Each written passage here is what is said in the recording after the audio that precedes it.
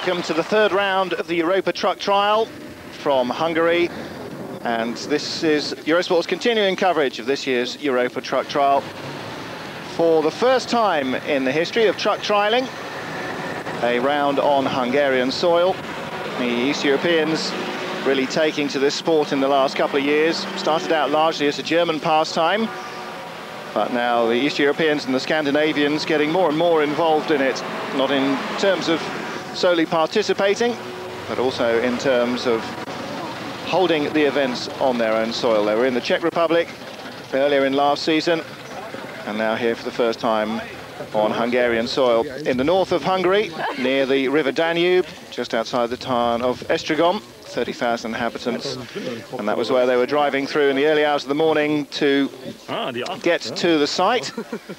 Drivers all pulling their start numbers out of the hat as per normal and then they have a good walk round the course to try and spot the obvious obstacles. And this event being held in a former coal mine. So they're not underground, no, it's an open cast colliery and the workings have been disused for some while.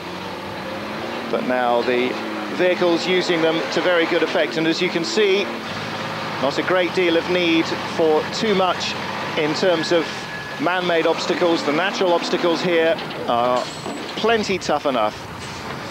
This is section 19,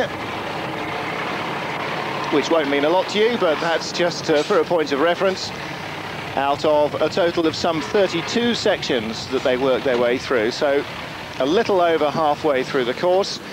And 2-1-2 showing off his pace for us here in his Unimog, Rudolf Koenig. And alongside him was Annette Peschel. Harold Winkler. Heiko Glatzer alongside him in the GAZ 66. These sort of vehicles not particularly familiar on British roads, or indeed off British roads, but uh, very well known in Germany and uh, particularly in the eastern part of Europe. So uh, you can see from the fairly bluff architecture of the cab that uh, the design element is particularly strongly concerned with how long the truck will last doing what is expected to do rather than the aesthetics of it all. This split personality, 204, 214, is uh, Andrea Knetz and Udo Kessler, or they are Andrea Knetz and Udo Kessler, sharing driving at the moment. Andrea driving in this particular guise as 214. But Udo has a drive as well, and then they just swap the numbers around.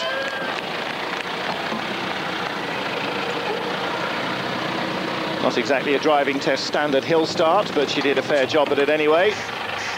As you can see, the natural inclines here providing all the adrenaline that's needed to aid the concentration of the driver and her passenger.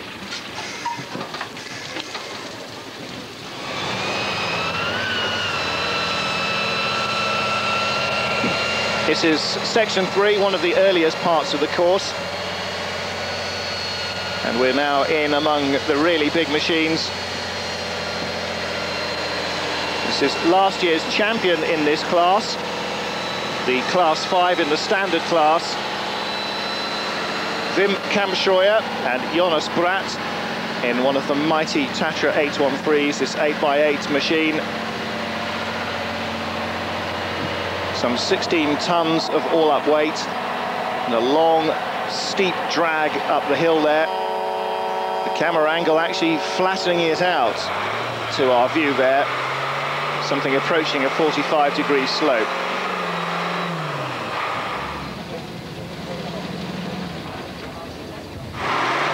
As ever, big crowds being drawn by these off-road monsters. This is section 23 and grip is a real problem here or keeping the drive going as you can see. 409 being pulled out there by the crane. Peter Niedersgrass in his Ural. This is 408 Hermann Kreienberg in his Mercedes-Benz 6x6. Just a marker gone there. Of course, marked out by these wooden stakes in the ground. And he is going for the four wheels pulling rather than pushing approach here. Front wheel steering and adding drive as well. And you can see just how steep a slope it really is. If you look at the people on the edge of the picture and see how they're standing with one leg very uphill and one leg very much downhill of the other, you can ascertain just how tough it is. Good articulation on the back axle of Norbert Falkers, number 407 Ural. And you can see why these workhorses of the steppes are so well suited to this.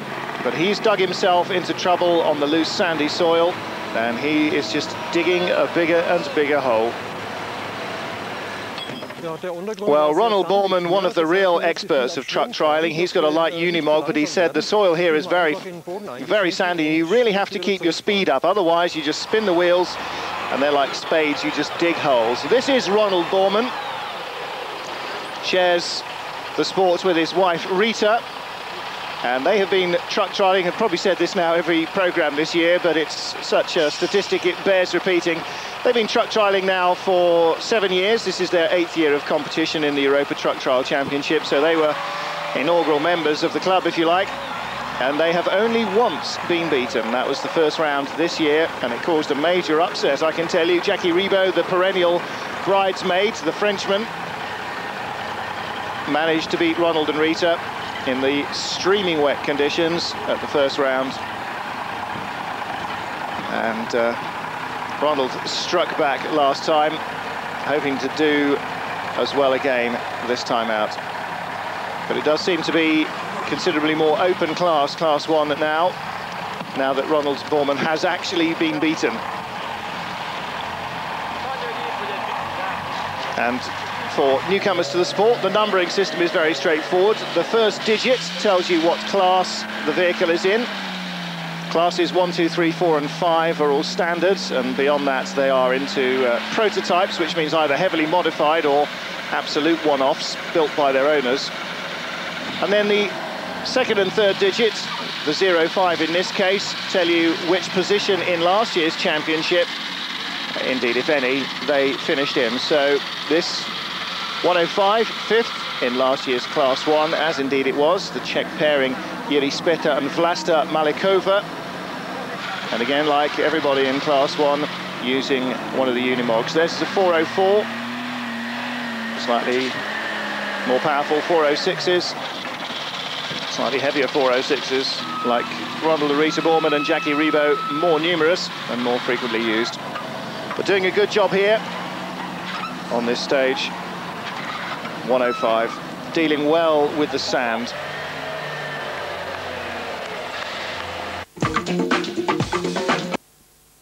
Well, here we are on zone 19. Three vehicles here in Class 3. This is the first of them, 301, last year's champions.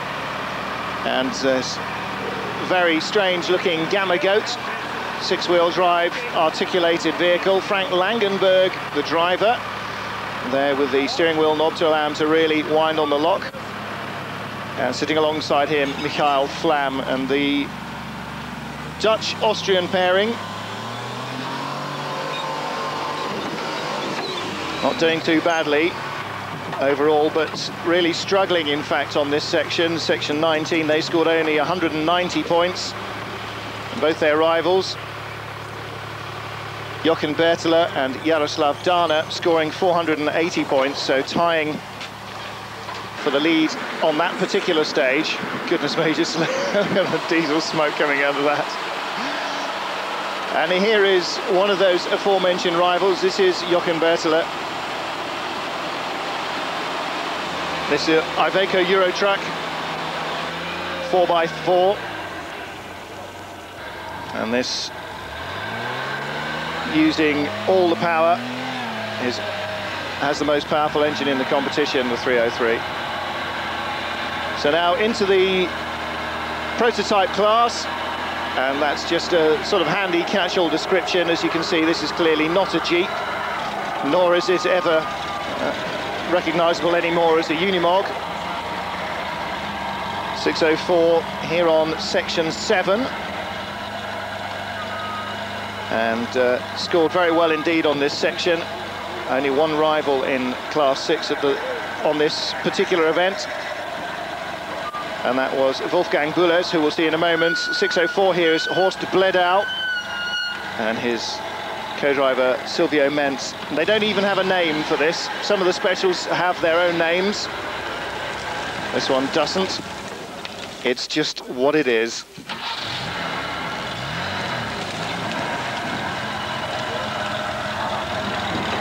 Rather fetchingly painted in its tiger livery. And despite all these stalls, they're not losing points or having problems because of that.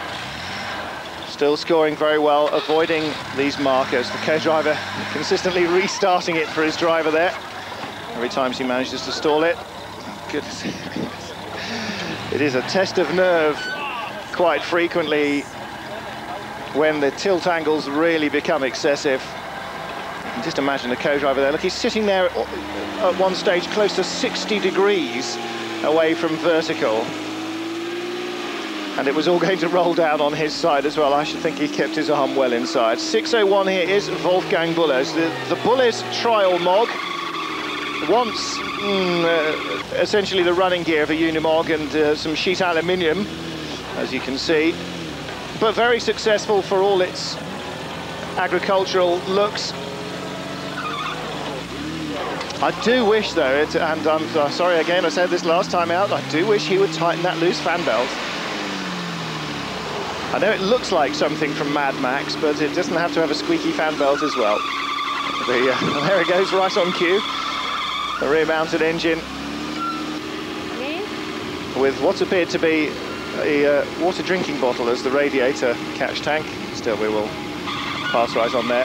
As you can see, the substantial rollover architecture means that at least it's safe, even if it doesn't sound very pretty.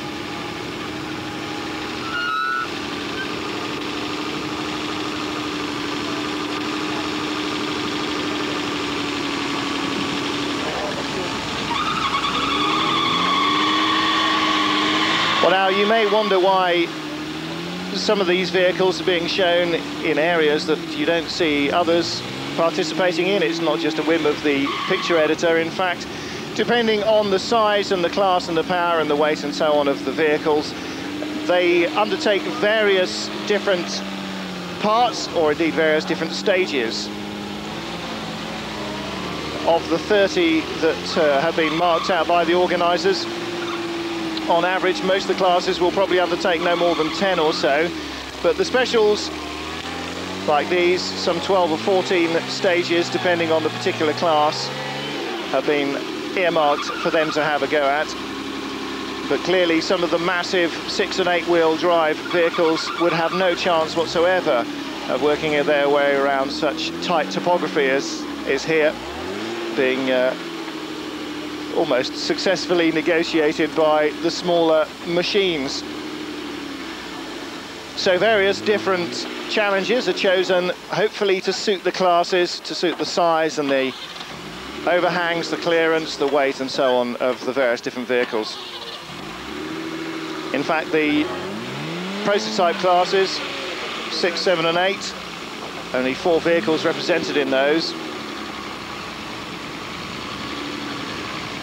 all undertaking 13 stages, as did the bigger class 4 and 5 standard trucks, the really big monsters, but they were very different stages that uh, they took part in. Some of them they did have in common. This one, not one of them, I'm afraid. Not this particular part, at least, of uh, stage 7.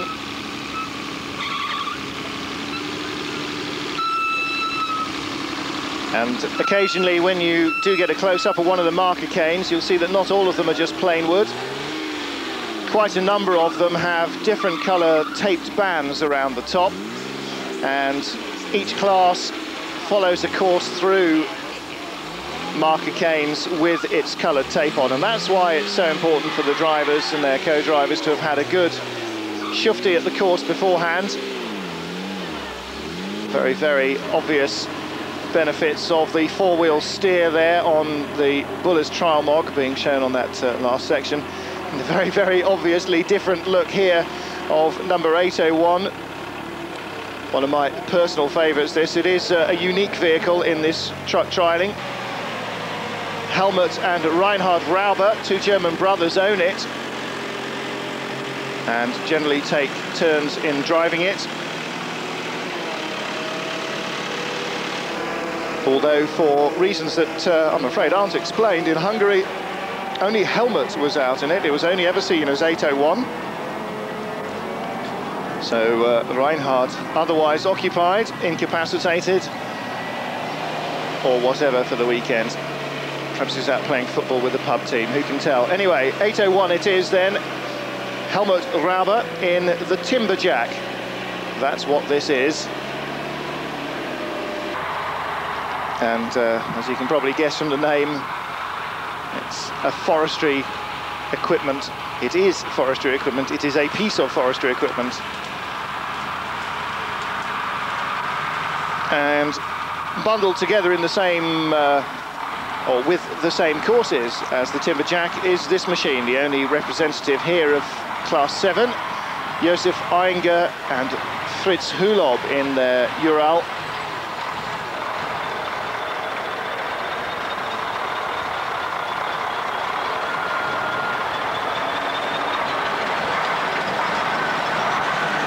And again, the articulation on the rear axle being used very successfully to help crab the vehicle around obstacles. And the Austrians very comfortable with this vehicle. They've been using it for a number of years now. And with a great deal of success. Runners up in their category last year, but in fact the only vehicle that's been seen out regularly in Class 7 this year. And certainly the only ones out in Hungary.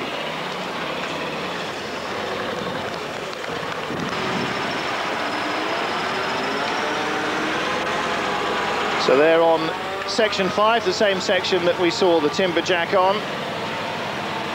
And uh, in fact, neither Oehinger nor Rauber managed a clean sheet on any stage during the course of the day, which says something certainly about uh, the tough courses. Very, very few zero scores coming out of the event. Very few indeed. And that's really what the crew's like. I think if everybody cleans the stage, then they all generally agree that it can't really been worth doing anyway. If nobody cleans it, then they think that was a good stage. So, with uh, the recent severe flooding in Eastern Europe in mind, particularly apposite stage, I guess, if uh, you'd like to say it that way, one of the big areas of standing water there being very successfully negotiated on section 27. Now that's something that we've not seen in truck trialling before, but uh, the way the crews and certainly the spectators enjoyed it, I shouldn't be surprised if we see a few more working their way into courses, if not this year, then certainly next year. And if they do come back to Hungary, as I'm sure the spectators and the locals would like, then we may see a little more of that as well being thrown in. 402 who were fording through the water incidentally in their Steyr.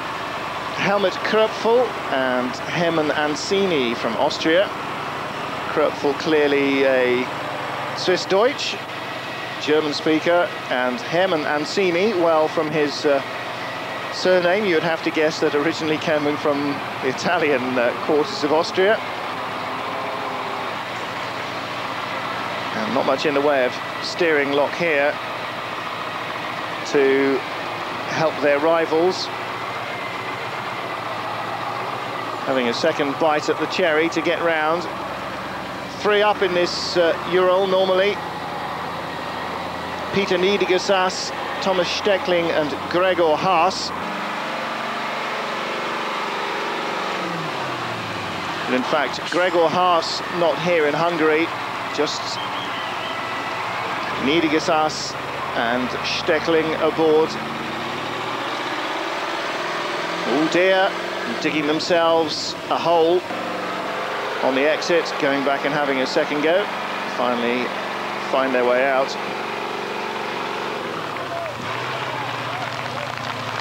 Well, that and other problems served to drop them behind the number two machine after that, which was in fact the penultimate section for the Class 4 machines. Let's take a look at a little bit more of the action.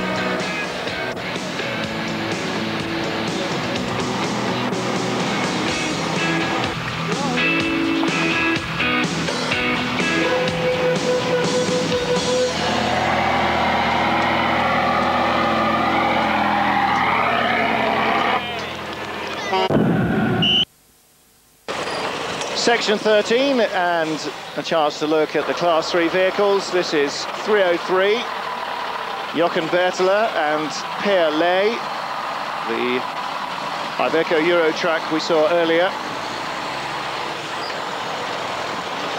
And for those of you with a degree in uh, modern physics, producing a thundering 309 kilowatts. No, I've got no idea what it is in old money either, I'm afraid, but uh, it is significantly the most powerful vehicle out there.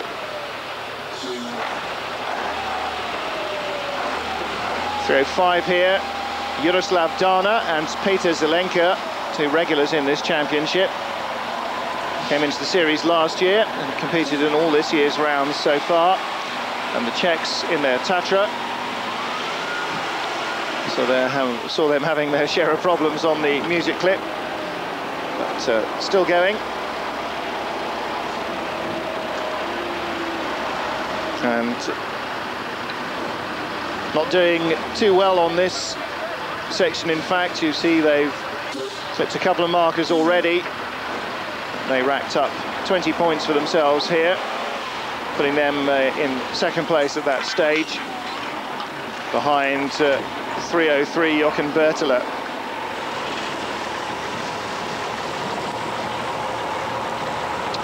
This is the only all-Hungarian crew in 120. And they're in a Unimog 406 as well. Istvan Cernik and Laurent Lacko.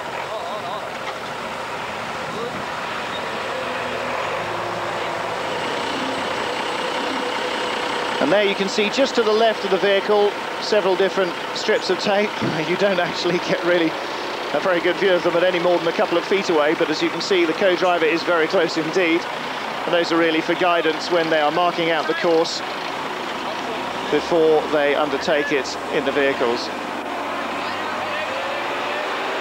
And the Hungarians here clearly with a lot of local support, obviously. That's something the other crews didn't enjoy, but uh, everybody seeming to enjoy their sport, whether it was the local crews or not.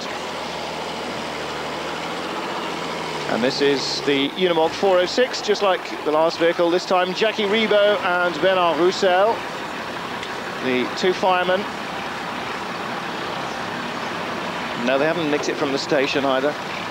But uh, instead of your more traditional motor racing or motorcycling style crash helmets, they're wearing their traditional French fireman's helmets.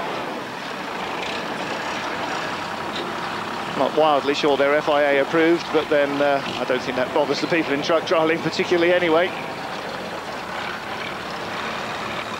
Got a feeling that people would have fits if they were being used in uh, single-seater racing or saloon car racing, but uh, in the truck trial world, they're quite happy that if they're good enough to protect firemen in blazing buildings with collapsing roofs, then they're probably good enough for the truck trials.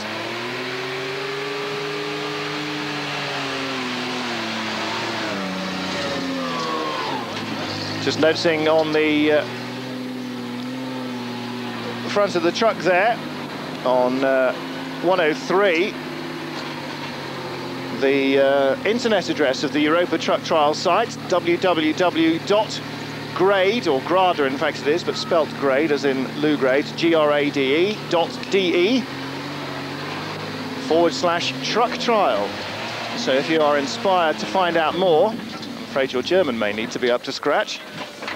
Oops. But uh, that is where you will find information on the Europa Truck Trial Championship. Well then, it's all gone quiet over there, as we say in these moments, and the Belgians Stefan Aerts and Marian Glabus bail out.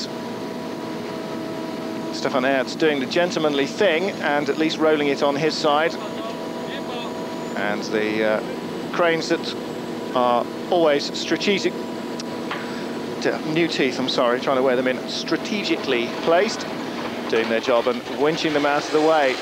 203, Pavel Kachak and Jaroslav Fizer from the Czech Republic.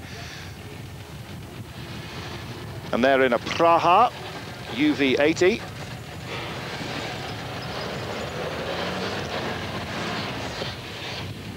Four by four, quite a flyweight even in this category, four and a half tons all that weight. Yes, I know it would hurt on your foot, but it's still light.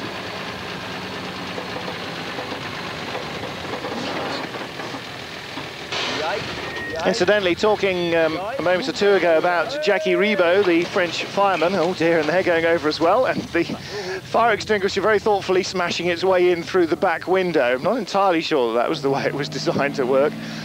Jackie Ribaud with a new partner first time out here, Bernard Russo.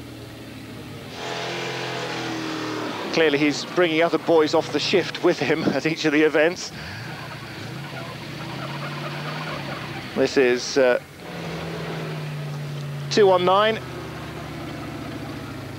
which is rather confusing because uh, it's another of the GAZes, but this time in a much more military colour scheme, the sort of thing you probably expect to see this truck in. And I would imagine that the barrels strapped to the back are probably full of water for ballast rather than anything else. This is clearly uh, a uh, hard-working vehicle as well. Thomas Stuberauch and Holger Reichel from Germany. And I wonder whether the uh, drab olive green colour scheme came on the vehicle originally, or whether they just thought it was a suitable and cheap and easy colour to reapply. Gearbox is certainly sounding as if it's seen a few hundred thousand kilometres, isn't it? And oh dear, over they go as well. So again, the angle of the dangle proving just a little too much for them. Bailing out. Now see, if they fitted a, a gun ring and turret to the top, or at least a gun ring and a trapdoor to the top of the cab, they could have just bailed out the side. And there are a couple of those, not gun rings, but uh, traps at least, on the top of the cab of these Tatras.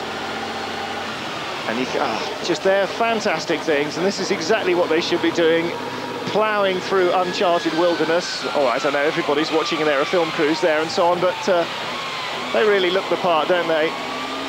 Never mind your little Unimogs, four and a half, five and a half ton of weight. Never mind all that. What you need is a proper truck. I'm sorry, I'm waxing your logic again, and it's clearly sinking up to his axles in the mud as well. Mike Kirsch, René Steinbach and Silvio Schneller have all bailed out.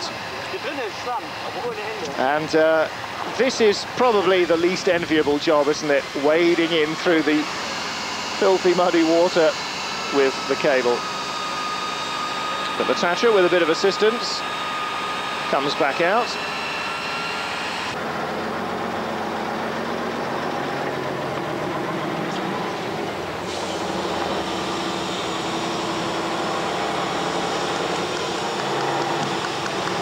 And in fact, they were the only ones to attempt it. None of the other big Tatras decided they would go the whole hog and go all the way through.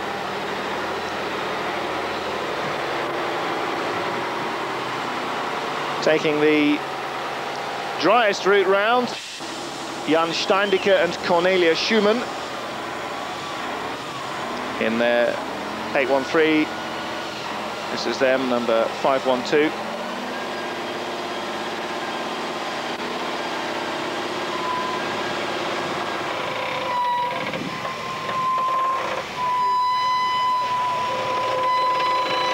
Here brakes just gradually being released, fraction by fraction here by Vladimir Ostrakovsky. This is a Ross Visa, Ostrakovsky from the Czech Republic, as is his uh, co-pilot Jan Burda. So, knowing no better, I'm afraid I have to assume, rather than inform you, that a, a Ross Visa is a Czech truck. At the very least, an East European truck, would have to say. And they've got the bailing out hatch open.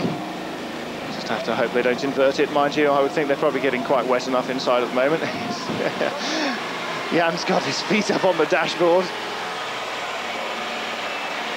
Doesn't seem to be leaking too much out of the door, but then I suppose he hasn't opened it yet. Successfully navigated that bit. How will they work on the what is now fairly slushy sandy slope. Seem to be managing without too many problems. 2-1-2 here. Looking to work his way up towards the front of the class two, the biggest class in terms of uh, competitors at least this time out. Rudolf Koenig and Annette Peschel.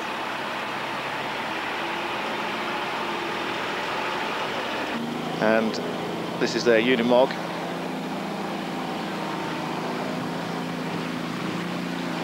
Doing a good job here, aren't they? Dealing with it quite happily. And this, in fact, was the final section for the Class 2 trucks. And they scored joint lowest marks, joint highest position. Only 12 points lost on the entire section, so a uh, really good job by them. And that helped pull them up the order at the end here. 207 stroke 214.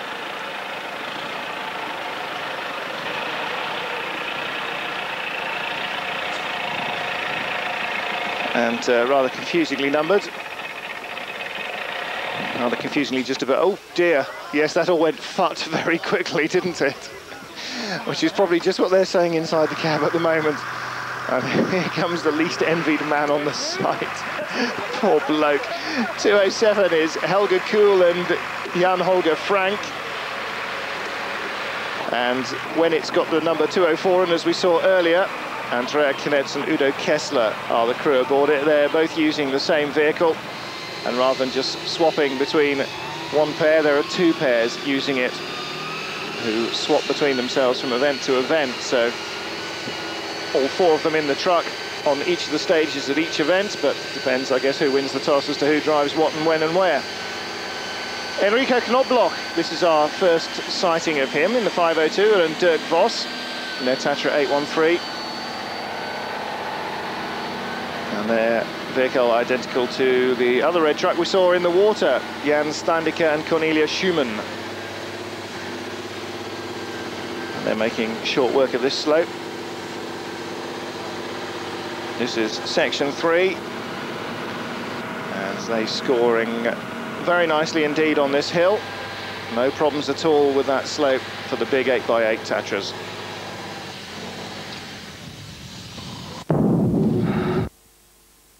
Two oh eight. These are German brothers Dirk and Gerald Baum in their IFA, IFA, IFA. And they are on section 23, about midway through the stages for the Class 2 trucks. And uh, everybody in this class scoring pretty highly. They racked up 128 points for themselves, which puts them in joint uh, sixth or seventh on that stage in the category. Best score was uh, championship winner last year, 201, Reinhard Leopold, who only scored uh, 60 points. And here he is, the Hussar. That's the truck, not him, incidentally.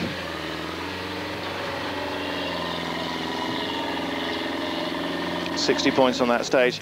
Incidentally, the long drag up the hill that we just saw uh, 502, the big Tatra uh, making, Enrico Knobloch, that was the only stage that anybody cleared, and all the Class 5 trucks, and one of the Class 6 runners cleared that uh, entirely.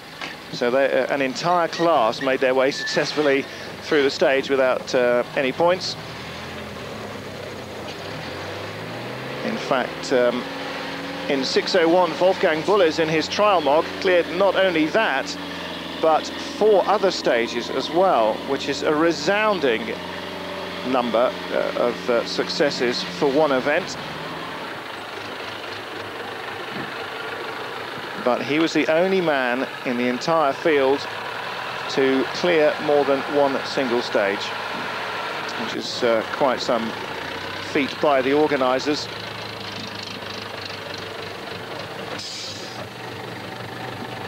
Gerhard Muller and Iris Rebecca Orban, the first time we've seen them in number 206, their IFA.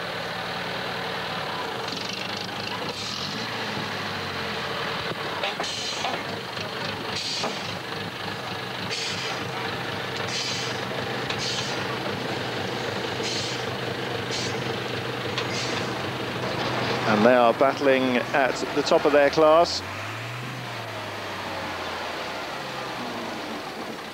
201, Wolfgang Bulles not only, uh, sorry, Reinhard Leopold, not only last year's champion, in fact twice the champion in this category, and a very, very uh, tough opponent, but in fact he was beaten here by this man, Peter Schleier, and his co-driver Wolfgang Stark. Their Iveco winning the Class 2 category they had a total of 1,281 points and Reinhard Leopold 1,463 and in fact Leopold was only just in second place because Pavel Kachak, the Czech in his Praga, came as close to victory as he ever has done in third place to 1463 of Leopold.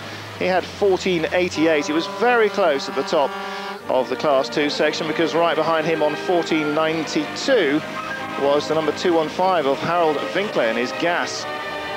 So very tough stuff in that class. The biggest in terms of entries and certainly the toughest in terms of competition as well.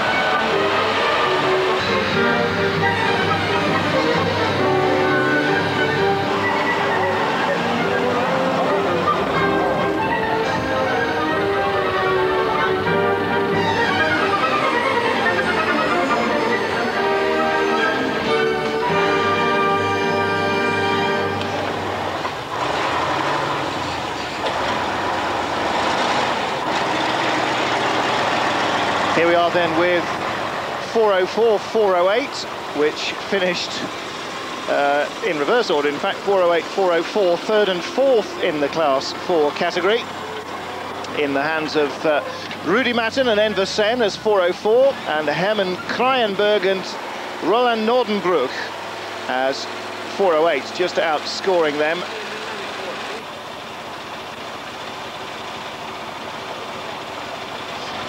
And running into trouble here.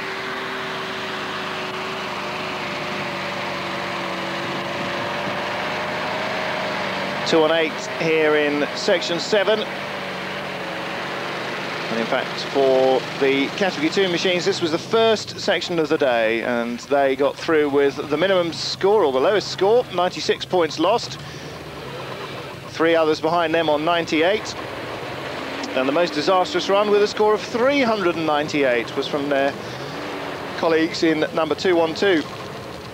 212, Rudolf Koenig and Annette Peschel from Germany. We saw them in uh, trouble earlier. I figure it may well have been on this stage, in fact. But uh, here, 2 and 8, Uwe Weber and Gunter Lohr in their GAZ 66.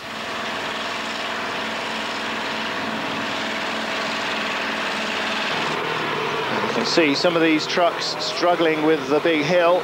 This is the one the Tatras had no problem with at all with their eight-wheel drive. And maybe massively heavy, but they are massively powerful. And a few of them really struggling here.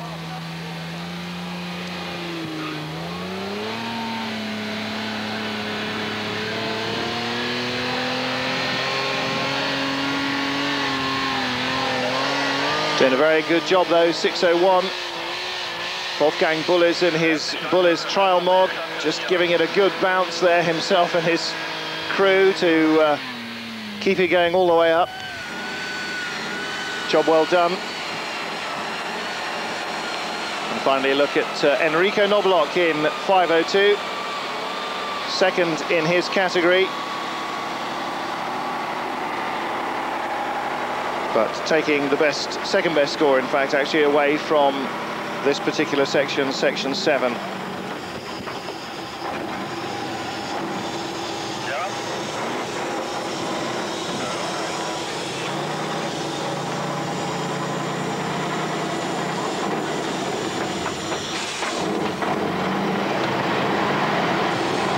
Enrico second in the championship at the moment to last year's winner in 501, Wim Kampschreuer in the Tatra.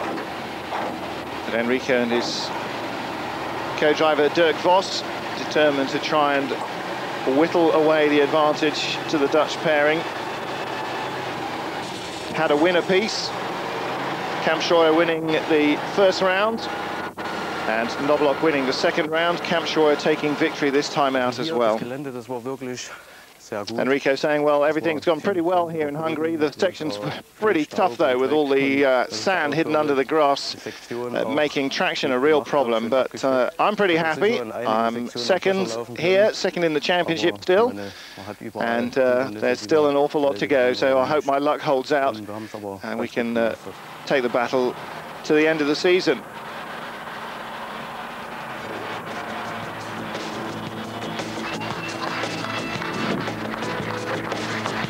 Well, the result then in the S1 class, Ronald and Rita Borman winning again, continuing on their winning ways. 4.4 there from the Russian judge for Peter Schleyer and Wolfgang Stark. Stark, is the co-driver, formerly a prototype driver himself. Jochen Bertele winning the Class 3.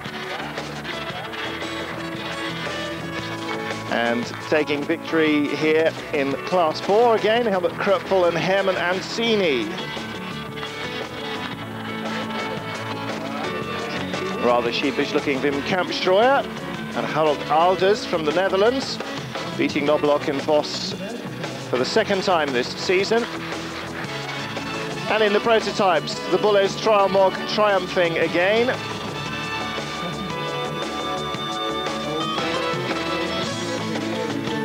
And in lumped together class, Josef Aringer and his co-driver Fritz Hulob beating the Timberjack this time out. So Jackie Ribaud leading the Class 1 Championship. Quite a surprising turn of events. Leading the series overall. Bin dazu gekommen, weil ich hier zu Pfingsten auf einem Offroad-Festival This is Gerhard Mutter, the uh, organizer, saying that he saw a four-wheel drive competition in Germany and thought that this would be the perfect place to organize a truck trial, and that's why we came here. But we had an awful lot of problems with the organization here, most particularly trying to get everybody through the Hungarian customs. A lot of them waited there for a long while, many hours, and he said uh, some of them only arrived just a few minutes before the start. Well, that's a shame because it was obviously a marvellous venue and well received by the locals and competitors alike. If they can sort out their border control problems next season, then you never know, they may well be back for more competition here in Hungary. Well, that's it for this time out on the Europa Truck Trial at the end of round three of the series. That's the midway point, three rounds of the championship still to go, and you'll catch up with all of those here on Eurosport in the weeks to come. Until the next time out, it's Martin Haven wishing you a very goodbye.